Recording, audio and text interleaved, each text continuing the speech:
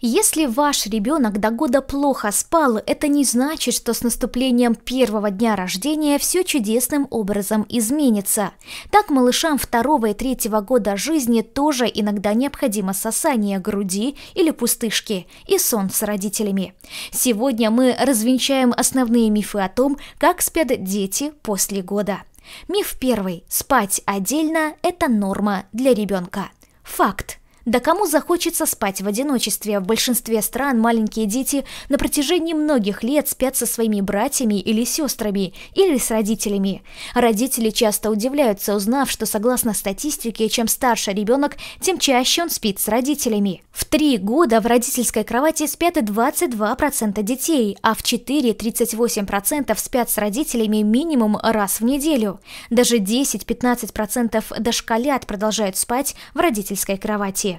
Миф второй. Дети старше года спят всю ночь, не просыпаясь. На самом деле были сделаны видеозаписи, которые показали, что дети в этом возрасте просыпаются в фазе легкого сна по нескольку раз за ночь. Но большинство из нас об этом не догадывается, потому что обычно дети сами засыпают снова без единого писка. Миф третий. Детям после года нужно меньше сна, чем младенцам. Несмотря на то, что продолжительность дневного сна ребенка будет постоянно сокращаться и днем он будет спать всего лишь один раз, до 5 лет ему все равно необходимо 11-12 часов ночного сна.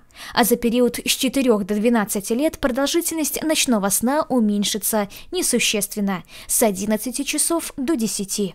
Миф четвертый. Детей старше года нужно отучать от сосания пустышки, особенно по ночам. Для карапузов сосание естественно и очень их успокаивает. В большинстве примитивных обществ дети сосут грудь до трех или четырех лет.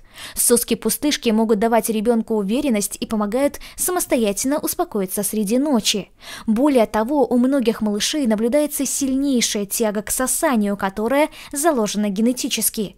И таким детям определено лучше сосать пустышку, нежели приобрести привычку слюнявить большой палец, что с гораздо большей вероятностью приведет к ортодонтическим проблемам в дальнейшем.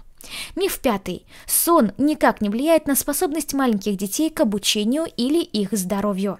Недостаток сна приводит не только ко многим поведенческим проблемам, таким как вспышки раздражения, капризы, агрессия, импульсивность и непослушание, но и является причиной трех факторов, мешающих обучению – невнимательность, плохое усвоение знаний и плохая память. Исследования показывают, что есть определенная связь между недостаточным количеством сна у маленьких детей и проблемами со здоровьем, которые появляются в более старшем возрасте. Удивительно, но недобор всего лишь одного часа ночного сна в раннем детстве может отразиться на учебе в школе. Канадские исследователи, к примеру, сообщают, что у детей, которые спят меньше 10 часов в сутки, в более старшем возрасте в два раза выше риск ожирения, гиперактивности и плохих результатов когнитивного тестирования. Похоже, в раннем детстве есть крайне важный период, и если в этот период ребенок спит меньше нормы, то это отрицательно сказывается на его развитии, даже при условии, что в дальнейшем сон налаживается. Миф шестой. Дети естественным образом засыпают, когда устают. Большинство из нас, в том числе и маленькие дети, засыпают, когда устают, но некоторые малыши, устав, наоборот, становятся еще активнее. Они начинают дурачиться и суетиться. На самом деле, своим поведением они напоминают детей, которые страдают от синдрома дефицита внимания с гиперактивностью. И эта проблема может усугубиться. Чем больше они устают, тем труднее им заснуть, и тем чаще они просыпаются среди ночи. Миф седьмой. Включенный ночник может испортить зрение ребенка. Ничего подобного. На протяжении многих поколений родители оставляли на ночь приглушенный свет 4 Вт в детской. Ночники позволяют нам быстро оценить состояние ребенка без необходимости включать фонарь или яркий свет в комнате. Плюс к этому многие дети чувствуют себя спокойнее, когда просыпаются в два ночи, видят знакомую обстановку, а не сплошное море тьмы. Но исследование, проведенное в 1999 году в детской больнице в Филадельфии, напугало многих родителей, и те стали выключать ночники. Исследователи заявили, что 34% детей, которые спали при свете ночника, в дальнейшем стали близоруками.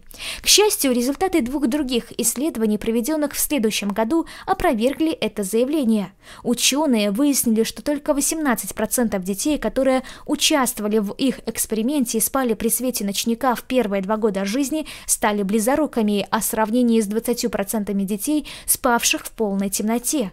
Ученые из Бостона также подтвердили, что нет абсолютно никакой связи между ночниками и проблемами со зрением. Миф восьмой. Если в детской поставить телевизор, то уложить ребенка спать будет проще. У почти трети дошколят в комнате есть телевизор. В дополнение к этому в пятой части семей просмотр телепередач или видеозаписей включен в обычную процедуру подготовки ко сну. Но использовать электронных помощников по вечерам – это плохая идея. Дети, у которых в комнате есть телевизор, чаще его смотрят. Отправляются спать на 20 или 30 минут позже. Борются со сном. Спят меньше, меньше занимаются спортом, больше страдают от психологических стрессов. В их случае больше риск ожирения. Могут получить серьезную травму, потянув телевизор на себя. Нет, я не закоренелый противник зомбоящика, он на самом деле может на короткий срок заменить вам няню, а порой нам всем это требуется. Но использовать телевизор крайне умеренно, выбирая спокойные программы и выключайте его перед сном, а еще лучше приберегите просмотр телевизора для особых случаев, например, утром выходного дня он может стать настоящим подарком для вашего крохи, а вам позволит поспать дополнительные полчаса.